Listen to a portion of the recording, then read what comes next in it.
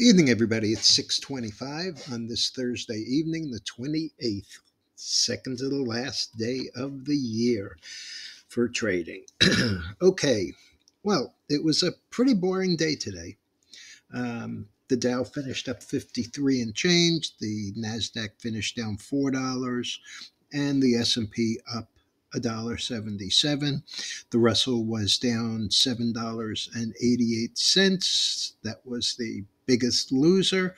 And the transports were down 23.83 or 0.15. So not very exciting. Um, market internals were even, basically. One to one on the NYSE and 11 to 10 down on the NASDAQ. Volume after yesterday's huge day was down 33%, falling from 7.5 billion traded yesterday to 5.1 billion today. As far as the futures went, uh, Grains, not doing very much except for the wheat, which was higher. We did, in fact, put on a trade in WEAT. That's the ETF for wheat. Um, wheat actually closed at 631 and a half. I'll show you the chart because I think it's really great. Um, we came down Tuesday, first day of this week. We were up broke out, came back down. Inside day yesterday uh, was down on the day, and today was back up. Also an inside day. Higher, low, lower, high. The close here, though, was 631 and a half. The high close here is 636.20. What I'm actually looking for is a break there. We closed right on this green line, which is the 200 day moving average. What I'm looking for is a break above this 642 and a quarter. Um, so we go through 640, close above six, uh, close above six. 36 and a quarter and an assault here. After that, uh, we have probably in the neighborhood of uh, 670 or so. Uh, so I'm pretty pleased with that. We'll have to see how that works out. Uh, oil was down hard, which is kind of interesting because the um, oil and the nat gas had drawdowns in inventory. As a matter of fact, um, the oil had uh, a move down. Let's see. Economic calendar. Okay. Uh, 87 million a billion cubic feet of nat gas as a draw and 6.911 million barrels as a draw on the crude. Um, crude, unfortunately, closed down about $2. $2 and uh, 34. It's up tonight 33 cents. Heating oil uh, is slightly up gasoline is up a penny, and the nat gas, which was up 12 cents, is giving back just two of it.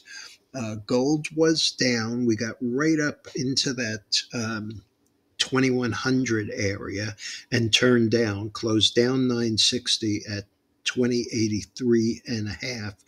Uh, down 960, and we are down another 740 here.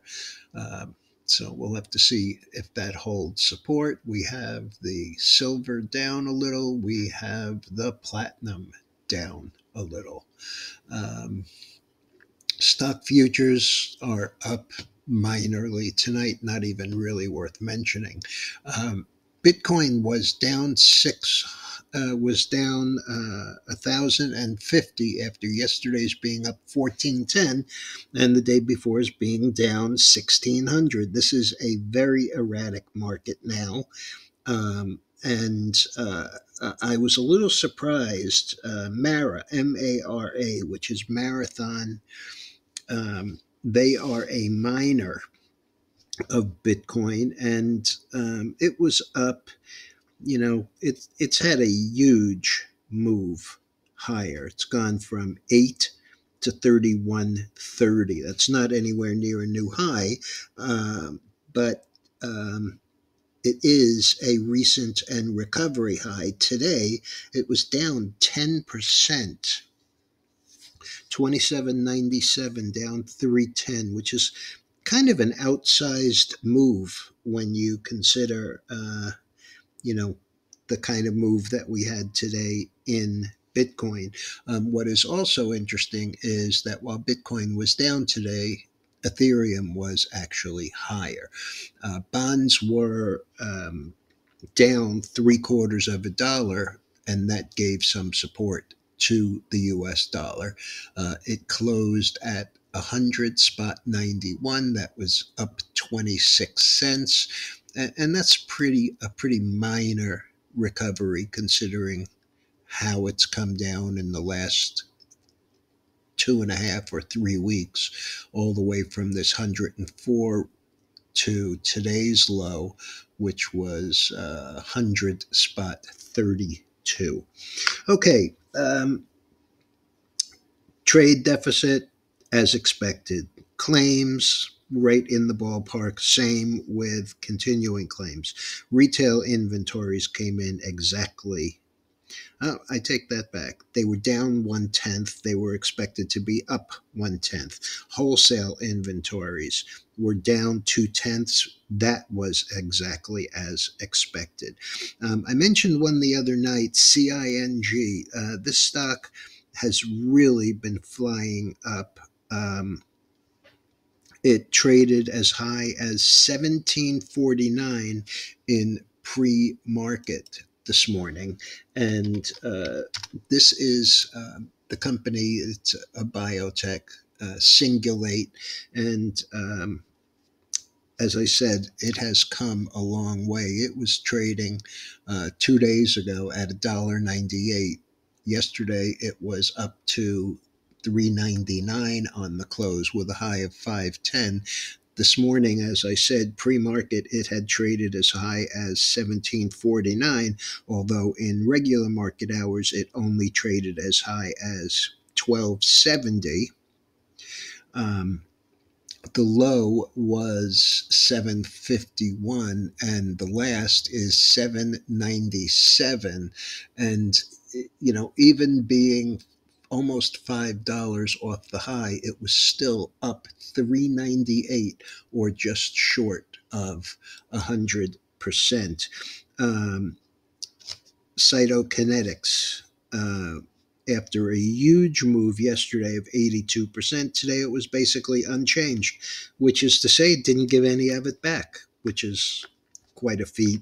Most of these smaller biotech companies, um, you know, tend to issue more shares and they tend to lose some of that gain.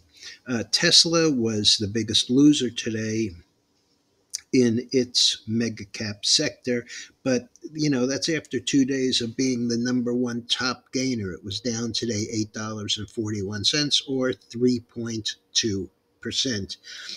Nova, NVFY. This is a stock that uh, is basically a furniture company. I want to say it's sort of like a uh, Wayfair or a Restoration or RH. Um, it was down as low as a dollar fifty-five closed there yesterday. That was pretty much a new all-time low, um, and today it was as high as $8.71. The low was 683. The last on that 661 up 506 or 325%. There is no news on it. Um, I couldn't find anything about it except for the fact that it had unusual volume.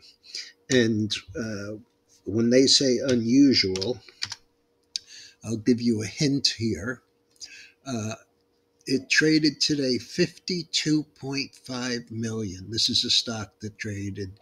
Its 90 uh, day average daily volume is 587,917.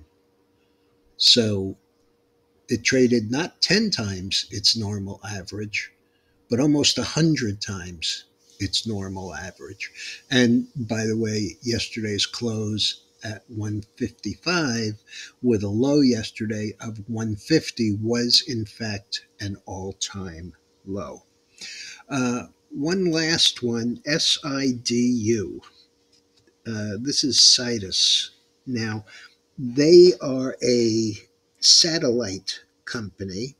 Um, data as a service is uh, what they call themselves.